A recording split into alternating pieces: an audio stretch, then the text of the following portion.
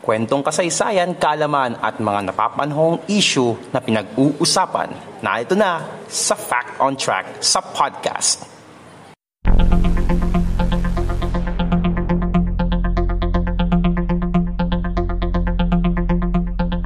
Fact on Track sa podcast.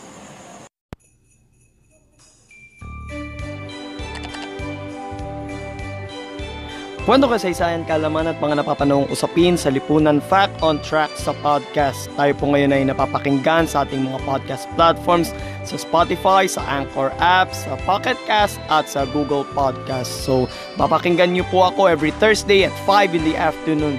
And napapanood niyo po yung mga uh, yung videos natin sa YouTube at sa Facebook. Wala pa po akong appearance doon pero uh, tawag ito, yung ilang mga description sa bawat topic natin, yun ang napapanood nyo po. So napapanood nyo po ako sa ang episode na ito, I mean, sa YouTube at sa Facebook tuwing alas 11 ng gabi every Thursday.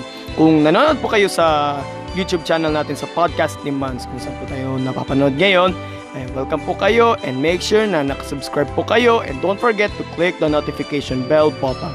And kung nanonood naman po kayo sa ating uh, Facebook page, Podcast Demands. Don't forget to like our page. Pasensya na po kung uh, basag yung boses ko po ngayon na. So, uh, kaya medyo hinihinaan ko na lang po yung, yung boses ko ngayon. Fact on Track sa podcast. Bago po tayo mapunta sa ating main topic ngayon mga kapodcast, uh, pag-usapan muna natin tong uh, naging usap-usapan ngayong linggo na to yung pamamaril ng isang pulis sa mag-inang kapitbahay niya sa Paniki Tarlac na nangyari noong nung Sunday, December 20 na nagsimula na malamang nung uh, yung anak daw na victim na si Frank Anthony Gregorio ay nagpaputok daw ng ng boga. And then sa yun na nga Napa, kung napanood niyo po yung video ay nauwi sa parang nagkasagutan pa ganyan na supposedly dapat aarestuin yung aarestuin yung anak nung nung pulis uh, arestuin ng pulis yung yung anak na victim. Ang pangalan ng pulis na by the way is uh, si Police uh, Master Sergeant Junel uh, Neduza ba 'yun? Neduza ba? Ewan ko tingnan natin. Nuezca pala yun, sorry. Uh, si Police Master Sergeant uh, Junel Nuezca. So, dapat i-aresto niya si, si Frank. Dadalhin dapat sa, sa barangay pero maawat yung mother na si, si Sonia. Ayaw niyang iparesto yung anak. Eh, dun sa incident na yun, nandun yung anak ng pulis na hindi pinangalanan eh. 12 years old yung bata. Okay? Kung, mapa, kung napanood nyo yung video mga kapodcast, parang sumasagot-sagot pa yung ano eh, sumasagot-sagot pa yung bata doon, yung 12 years old na, na anak ng pulis. Diba?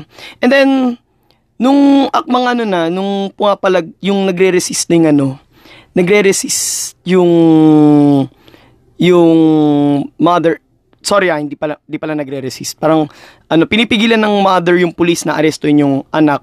Sumabat na yung ano, sumabat na yung bata na sasabi niya, sisigaw niya na, Go!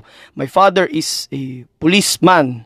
Tapos doon na kumanta yung, uh, yung mother, si Sonia, na kinanta niya, sinabi niya yung I don't care, pero yung parang sa kanta ng K-pop group na 21, parang sa tono na I don't care, eh, eh, eh, eh, eh.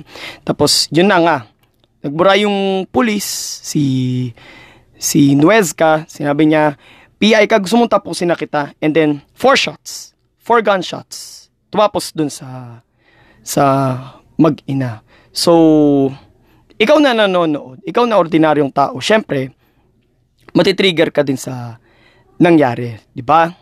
And then, hindi lang ako nagsasalita sa ano eh.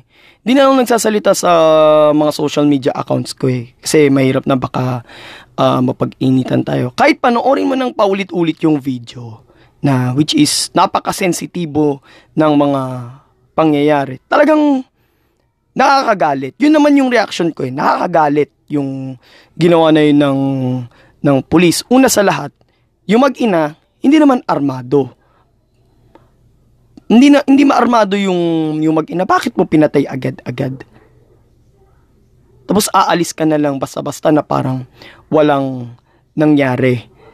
Actually, may mga nagsasabi nga daw na hindi lang daw basta yung tungkol sa boga yung ano yung naging dahilan ng patayan eh. Parang meron na daw silang naging beef. Parang meron daw silang naging away silang magkapitbahay patungkol sa sa right of way, 'di ba? Etong police, si Nuezca, marami na daw palang naging kaso to ng uh, administratibo magmula pa nung, nung 2010. So naungkat yung mga nauna niyang kaso. Pero masasabi ko lang na itong kaso niya ngayon which is double murder ay ito yung pinaka mabigat. So again, nakakagalit talaga yung ginawa na yun ng pulis. Parang lumabag siya dun sa sinumpaan nilang tungkulin na to serve and protect. 'Di ba? Paano hindi ka magagalit doon? Yung civilian na dapat na poprotektahan mo eh pinatay mo pa. So, may mga nagsasabi daw na ano na mga kapitbahay, maging yung yung kapitan doon sa sa barangay nila sa Paniki, Tarlac na every time na umuwi daw doon yung si Nuezca, lagi daw may gulo. So parang sa isip ko parang napaka war freak naman pala nitong taong to. 'Di ba? So, napakasama talaga nung nung ginawa niya. Nakakagalit talaga. Ang opinion ko naman dito, yung sasabi nila na isolated case lang daw tong pangyayari. Actually, hindi eh. Kaya nga naugong nga sa, uh, sa, naging isa rin sa mga top trending sa Twitter, yung hashtag na end police brutality, di ba? Kasi this year, uh, maski nung mga, uh, nung panahon ng pag-iral ng pandemya, ng COVID-19, eh, meron na rin mga kaso na mga police brutality na mga nangyari. Mga umabuso sa kapangyarihan. Mga pulis ang umabuso sa, sa kapangyarihan. Gaya nung nangyari sa Quezon City na nung many months ago, yung si Winston Ragos, yung target nila, uh, lumabag siya sa quarantine protocols pero nung akmang may kukunin siya sa bag, bigla na lang siyang binaril. 'Di ba? Ang akin naman doon, hindi ko mo may kukunin siya sa bag niya, eh, baril na agad. Doon na siya kagad tinumba. What else? Yung nangyari sa hulo. Yung pamamaril ng mga pulis dun sa apat na taga-army. Tapos tinaniman pa ng ebidensya para kunwari, nagka-enkwentro. Diba? And then doon sa dalawang pulis sa uh, Ilocos Sur na nang rape, pumatay dun sa 15 anyos na dalaga. Okay? Nang, nang nakakagalit din doon, parang di ko masasabi kung kasabot ba yung uh, taga women's desk doon sa Ilocos Sur kasi parang di niya pinaniwala na na tong batang to ay ni-rape ng dalawang pulis. So, I can't say na itong nangyari na to uh, sa Tarlac na isa siyang isolated case. Okay. Kahit sabihin mo pa na uh, labas na yan sa sa trabaho ni Nuezca bilang isang pulis, hindi pa rin siya isolated case. But then, to be fair, ang ang mali lang sa mga netizens kasi, bakit nilalahat nila yung mga pulis? Okay? Paano na lang yung mga pulis na talagang gumagampan ng, sa kanilang sinumpang tungkulin? Paano na lang yung mga matitinong pulis? Yes, may mga pulis na na parang gumagawa ng mga kalokohan, uniformado pa namang naturingan pero ang daming mga uh, ginagawang kalokohan. Paano na lang yung mga matitino? Huwag naman sana nilang lahatin. Okay? Huwag sana nilang lahatin. Kasi pati yung mga talagang gumagawa ng trabaho nila ay nadadamay din eh. So, paano na lang sila? Okay? I-single out na lang natin na itong nangyari na to ay siya lang ang may gawa. May nabasa nga ako post uh, post ng mga pulis, parang parang copy paste na post ng mga pulis. Na sabi nila kinapslak nila eh, hindi nila kasalanan yung kasalanan ni Nuezca. Hindi naman nabanggit pero parang yun na nga. Uh, hindi nabanggit yung pangalan ni ano ni uh, Master Sergeant uh, Nuezca. Pero parang ganun na nga. At hindi rin sila katulad niya, which is totoo naman. Ngayon, ang makikita natin ngayon kay Nuezca, talagang wala siyang ligtas sa batas. So, naniniwala ako na yung justice deserve talaga para doon sa sa mag-ina. Abangan na lang natin yung magiging takbo ng kaso pero naniniwala ako na para sa kanila yung yung katarungang hanga rin nila. At doon naman sa bata na nagsabi na, na pinagmamayabang pa na go, my, my father is uh, policeman. So sa tingin mo may pagmamalaki mo pa na pulis yung tatay mo. 'Di ba? May iba nagsasabi nga na ano nga na wag na nilang idamay yung yung bata. Eh. Bakit hindi idadamay? Eh, syempre, ang tawag dito, sagot-sagutin pa naman yung yung nakatatanda. Di ba laking kabastusan nun? Ah, 12 anyos na sasagutin mo mga nakatatanda sa'yo. Napakawalang yamon naman. Napakawalang modo mo naman. Palibasa kasi inispoil ng magulang eh. Diba? Pasensya na ha. Pasensya na kung ganun talaga yung, yung pananaw ko dun. Napaka-spoiled eh. Ano yun, lingwahe ng mga ano yun, ng mga spoiled yan. I-English, English mo pa. Diba? Ewan ko anong magiging kahin, anong kahinatnan mo niyan. Lalo na pag nagdalaga ka na, pagtanda mo, baka tatatak sa utak ng tao na ay ito yung batang nagsabi dun sa mag-ina na uh, go my father is a uh, policeman. Yung pinagmamayabang niya, pulis yung tatay niya pero nagmagiging criminal din pala ganyan. Ay lang naman, 'di ba? And ano pa bang mga gustong marami akong gustong sabihin na hindi ko na lang sinabi sa sa social media baka mapatrouble pa tayo eh, 'di ba? ano lang naman, tungkol dun sa sinabi, dun sa huling salita ni Mrs. Sonia Gregorio na yung sabi niya, I don't care, eh, eh, eh, eh, eh di ba? Huwag niyo naman parang ito rin na parang katulad sa My Way ni Frank Sinatra na which is hindi naman totoo na nakamamatay yung kanta na yun eh. Kaya lang may mga nagpapatayan dun sa kanta na yun kasi nga napakaganda nung laman ng kanta.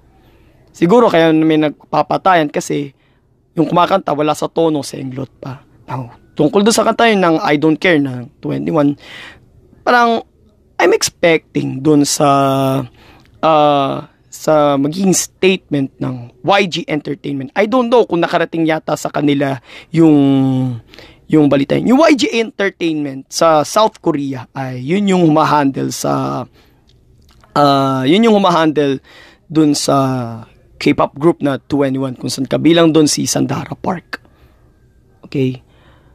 Wag sanang maging uh, wag sanang lagyan ng sumpa itong kanta na to. Hindi ko mo ito yung last word ni Mrs. Sonia ay di niya nakakantahin. It's just a song. Okay?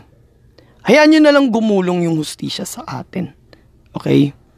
Yung mga pulis na may katulad din na kalokohan, katulad din dito kay, kay Master Sergeant Nuesca at sa iba pang mga pulis na nasangkot din sa iba pang katiwalian, eh, hope na matauhan kayo. Magkaroon kayo ng conviction. Okay? Kung hindi man kayo mapanagot dito sa lupa, baka sa karya ng Diyos mapanagot kayo. Okay? Yun lang naman ang ano, yun lang naman ang gusto kong sabihin. Huwag kayong matakot. Huwag kayong, huwag kayong matakot. Pagka, halimbawa, nagkaroon pa rin ng problema, yung may mga tanong na, ano, kapag pulis na yung nakagawa ng krimen, sinong lalapitan mo? Siyempre, pulis pa rin yung mga kabaro niya na matitino. Di ba? Huwag kayong matakot sa mga pulis. Huwag yung ilahat yung mga pulis. May mga pulis na gumagawa ng matino. Sinasabi ko sa inyo yun lang naman ang sa akin. So, uh, sige, tako na tayo sa ating topic. Kung meron kayong ano, kung meron kayong parang gustong sabihin sa Facebook or sa sa YouTube, parang pwede maging uh, pabor kayo sa sinabi ko, pwedeng against kayo sa akin, it's okay. I- feel free to comment down below sa comment section sa YouTube or sa Facebook. Fact on Track sa podcast. At doon naman po sa mga uh, kumakampi doon kay senior kay Master Sergeant Weska na mga netizens. Alam kong kayo 'yun. Okay. Huwag niyo nang kampihan, okay? Huwag niyo sisihin yung mga biktima. Yun na lang, okay? Nakita naman natin na talagang uh, malaki ang pagkakamali talaga na nagawa ng pulis. Maling-mali talaga, okay? Obvious na obvious, huwag niyo nang ipagtanggol yung pulis. Okay, don't blame the victim. So, parang PS ko lang naman, pahabol ko lang naman. So anyway, madako tayo sa ating uh, topic for today. So, December 24 na ngayon. Ooh! Ilang oras na lang at uh, may sa-celebrate natin ng Christmas, ang kapanganakan ng Panginoong Jesus. So, what do we expect pagdating ng December 24? So, syempre, uh, Noche Buena, di ba? And syempre, next week, uh, Medya Noche naman, di ba? Uh, pagdiriwang natin. So, parang pagdiriwang natin naman doon yung bagong taon. So, ano nga bang pag-uusapan natin ngayon mga kapodcast? So, pasensya na, napahaba yung ano ko, yung statement ko. Uh, ang pag-uusapan naman natin dito ngayon mga kapodcast is yung kasaysayan ng Noche Buena at Medianoche. At pag-usapan rin natin yung mga pagkain na pangkaraniwan ng inihahanda tuwing holiday season. So, uh, medyo mat- naging matagal yung discussion natin. So, simulan natin pag-usapan to mga kapodcast. Mga impormasyon na dapat mong malaman ating pag-usapan dito sa Fact on Track sa podcast. Simulan natin pag-usapan mga kapodcast ang kasaysayan ng Noche Buena at Medianoche. Unahin muna natin ang Noche Buena. So, Noche Buena ay isang taunang tradisyon na isinasagawa ng pamilyang Pilipino tuwing sasapit ang araw ng Kapaskuhan. Ito ay salitang Kastila ng ibig sabihin ay Night of Goodness. Nagsimula ang tradisyon na ito noong 16th century kung saan nire-require noon ng mga praile ang mga dumadalo sa Christmas Midnight Mass mag-fasting muna sa pagkain. Subalit, dahil karamihan sa mga Pilipino noon ang nakaranas ng gutom pagkatapos ng misa, marami sa kanila ang nagsasama-sama sa isang pagsasalo bago matulog. Karaniwang nagsasalo-salo ang buong pamilya sa hapagkainan hating gabi matapos makumpleto ang siyam na gabi sa pagdalo sa simbang gabi. Sunod naman natin pag-usapan ang Medianoche Karaniwan to, December 31. Siyempre, alam naman natin yan. So, katulad sa Noche Buena, ginaganap ang pagsasalong ito upang ipagdiwang ang pagsapit ng panibagong taon. Ito ay isang Kastila rin na ibig sabihin naman ay hating gabi or midnight.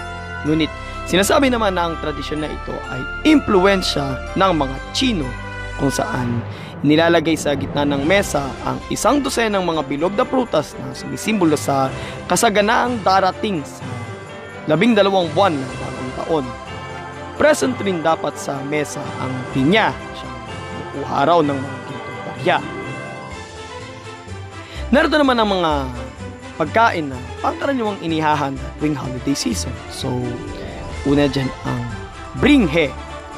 Isa itong kapampangan rice dish na sinimulang ihain bago pa dumating ang mga mananakop sa mga sangkap nitong malagkit na bigas, manok, chorizo, bell pepper, pasas, green peas, turmeric at gata, hindi nalalayo ang pagkain ito sa paella ng Espanya at biryani ng mga tagagitnang silangan o Middle East, mga Arab nations. Sunod naman ang morcon. Hmm.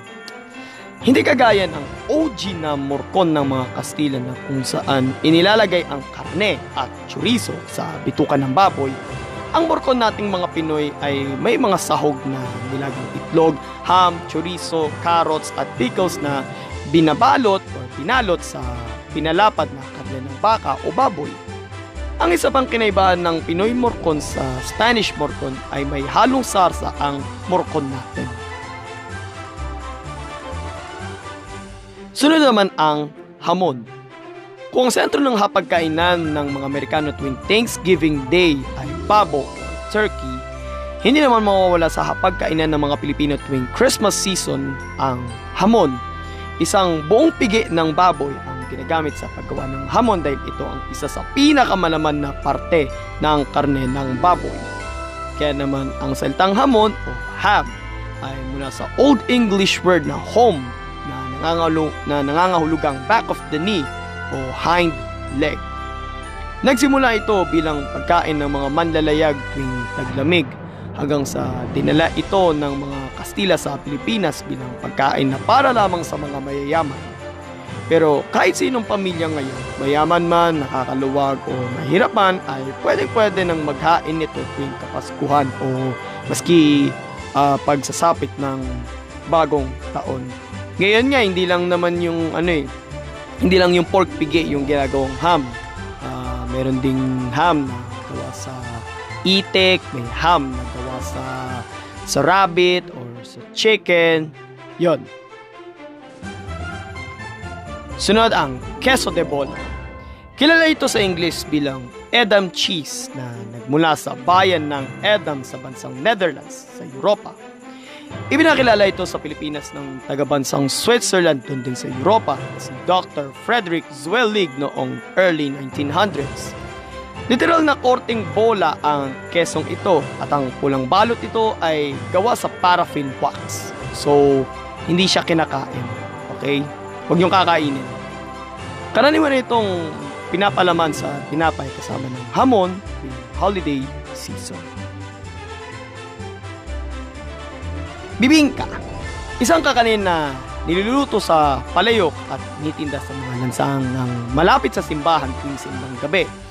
Madalas itong patungan ng itlog na maalat, mantikilya at ginayad ng yog. Pero ang Christmas kakanin na ito nating mga Pinoy ay sinasabing may pagkakalintulad raw sa bibingka ng mga taga Goa sa India. At panghuli ay ang puto bumbong. Isa bang Christmas kakanin na kasamang itinitinda sa mga lansangan tuwing simbang gabi. Pinapausok ito sa mga bumbong o bamboo tubes kaya ganun na lang ang tawag sa pagkain ito. Tapos para lumabas yung nalutong uh, puto bumbong, parang yung bumbong noise uh, parang tinatapik yun sa ano eh, sa puwet. Okay? Oy, oy, oy, iwasan nyo yung ano, iwasan nyo yung isipan nyo, magbarume, please. Gawa ito sa malagkit na bigas na kulay puti at sa kung tawagin ay pirurutong na isa ring uri ng malagkit na bigas at siya ring nagpapa-violet sa pagkain ito. Pinapatungan ito ng ginadgad na nyog, mantikilya at inilalagay ito karaniwan sa dahon ng saging. Fact on Track sa podcast. Sa mga nakikinig po sa ating mga podcast platforms, sa mga nanonood sa YouTube at sa Facebook, ako po ay humihingi ng paumanhin sa inyo kung uh, ginutom ko po kayo, pinatakam at pinaglaway sa topic natin ito. So kung nagustuhan niyo po itong topic natin ngayon mga kapodcast at kung nanonood po kayo sa YouTube, like, comment, share, and subscribe sa ating channel, Podcast Demands, and don't forget to click the notification bell button. At kung nanonood po kayo sa ating uh, Facebook page, Podcast Demands, don't forget to like our page.